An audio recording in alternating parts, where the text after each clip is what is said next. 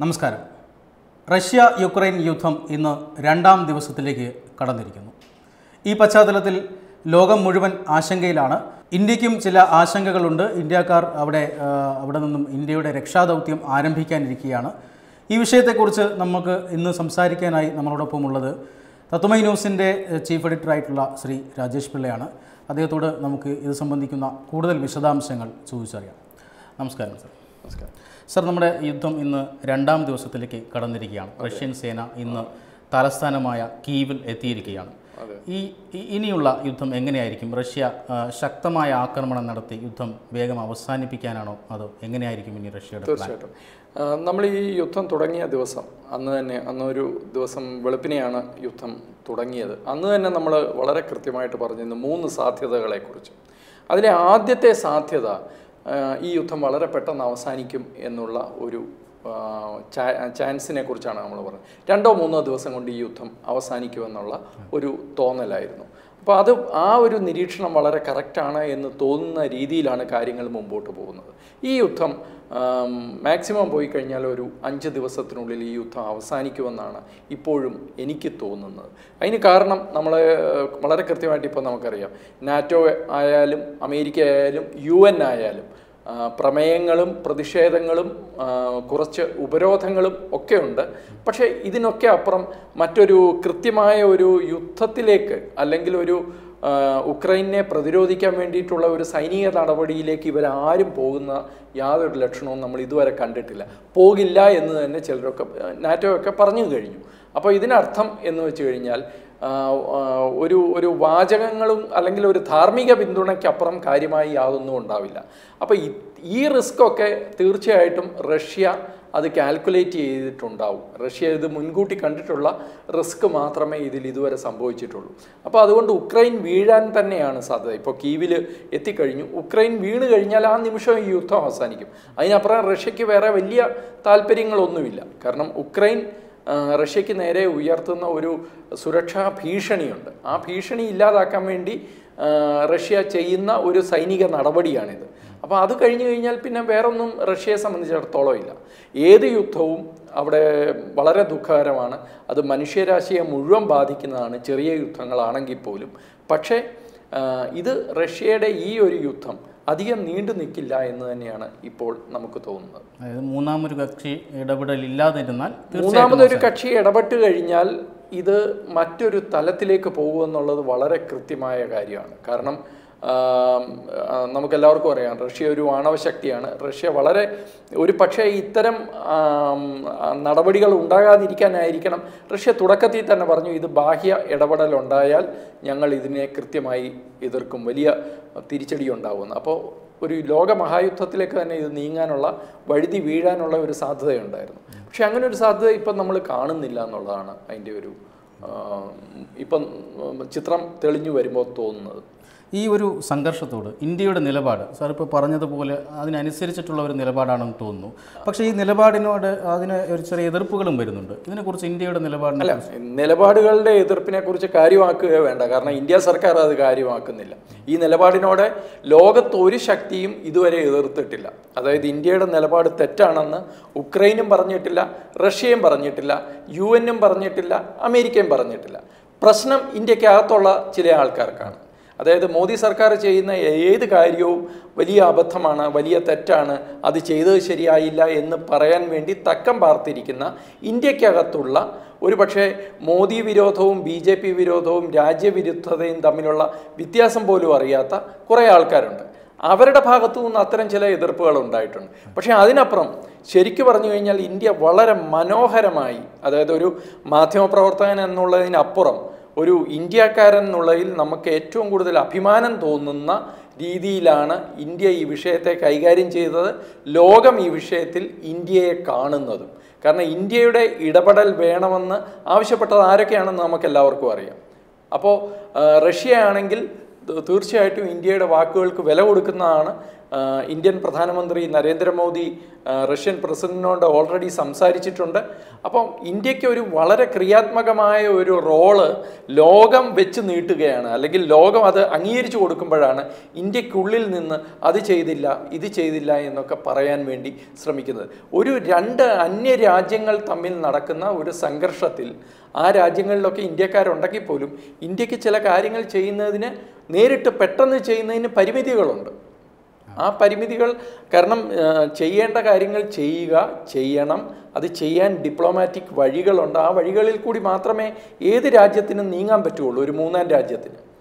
രണ്ട് ദിവസമായ യുദ്ധത്തിന്റെ പേരിലാണ് ഈ കിടന്ന് ബഹളം വെക്കുന്നതെന്ന് നിങ്ങൾ ഓർക്കണം. അപ്പോൾ അത് കൃത്യമായ രാഷ്ട്രീയ വിരോധത്തിനപ്പുറം വേറെ ഒന്നുമില്ല കാലം അത് കൃത്യമായി തെളിയിക്കുകയും ചെയ്യും.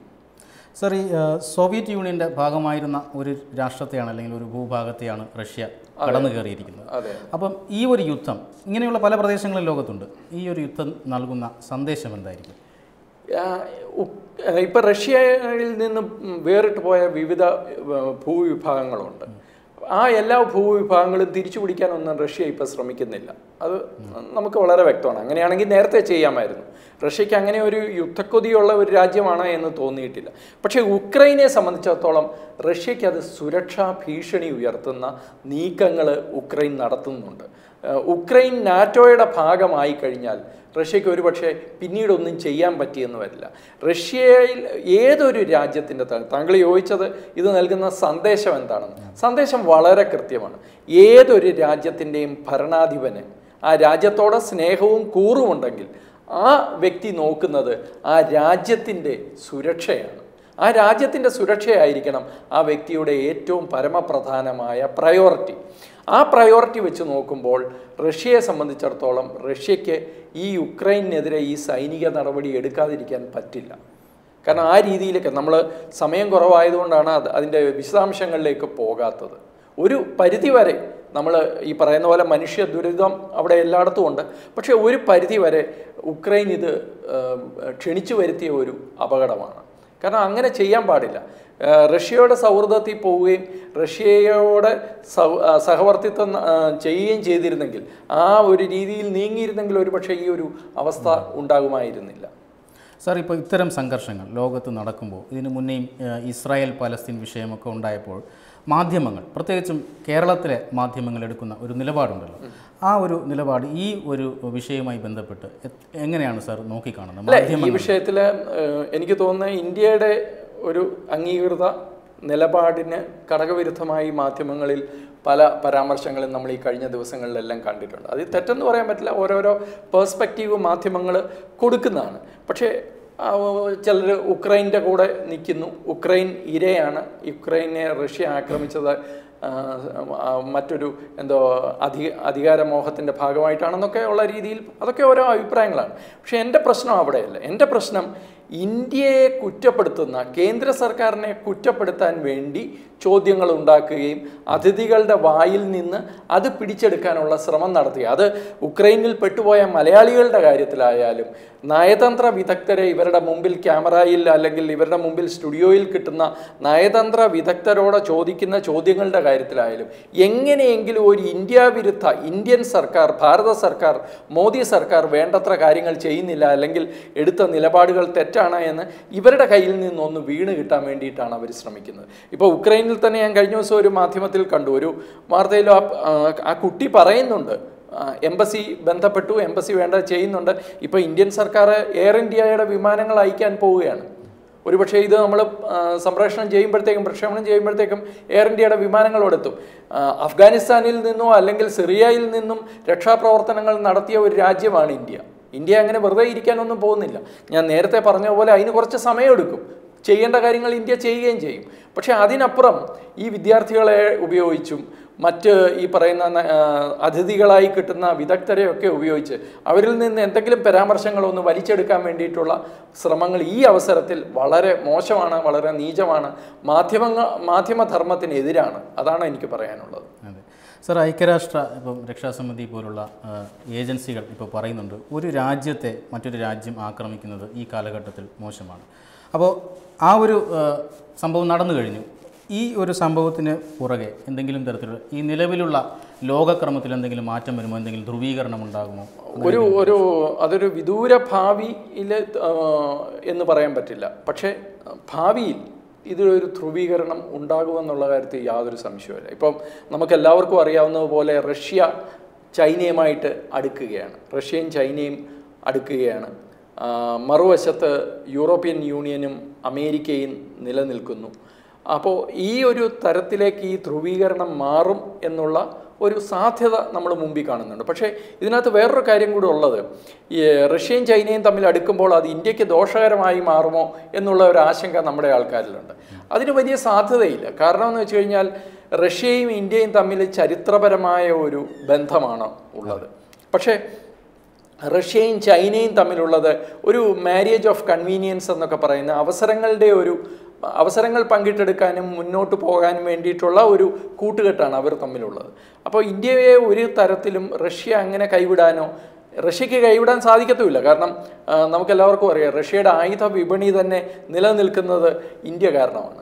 അതേപോലെ ഇന്ത്യയെ സംബന്ധിച്ചിടത്തോളം റഷ്യയുമായിട്ടും അതുപോലെയുള്ള വ്യാപാര വാണിജ്യ ബന്ധങ്ങളൊക്കെ ഉണ്ട്. അപ്പോൾ അങ്ങനെ പെട്ടെന്ന് ഇല്ലാതാവുന്ന ഒരു ബന്ധമല്ല നമ്മളുടേത്. പക്ഷേ ഒരു പക്ഷേ നമുക്ക് ചിലപ്പോൾ ഇത് ഗുണമാവും. കാരണം എന്ന് വെച്ച് കഴിഞ്ഞാൽ റഷ്യ ചൈന ബന്ധം കൂടുതൽ ഊഷ്മളമാവുകയാണെങ്കിൽ ഇന്ത്യയും ചൈനയും തമ്മിലുള്ള ഇപ്പോഴത്തെ തർക്കങ്ങൾക്കൊരു ഒരു കൂടുതൽ അയവ് വരാൻ ഒരു പക്ഷേ പുതിയ സാഹചര്യം ഫലം ചെയ്തേക്കാം. അങ്ങനെ ഒരു സാധ്യതയുണ്ട്.